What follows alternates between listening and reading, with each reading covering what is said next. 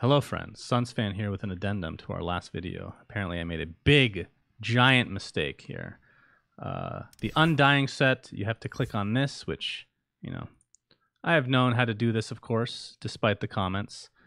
Uh, I am just battling major fatigue from pulling a bunch of all-nighters to cast the group stage of the major.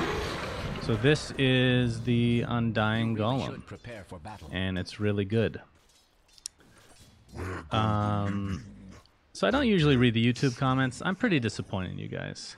I know this is a very small minority of you, but and the fact that I rarely get affected by YouTube comments, because um, I, I feel like I have very thick skin, but some of it went over the line. I've never banned anybody on our channel before, but yeah, pretty disgusting stuff for I mean, I made a mistake. I'm very tired. I literally work seven days a week. I haven't taken a vacation in over a decade. I I don't even know what to say. I I should have learned so many years ago. I tell myself not to read YouTube comments, and I usually don't. But when you do, mm, sometimes it's truly disappointing. So anyway, thanks for watching, guys. Till next time, Suns Sunsfan signing out. Hopefully you like the golem.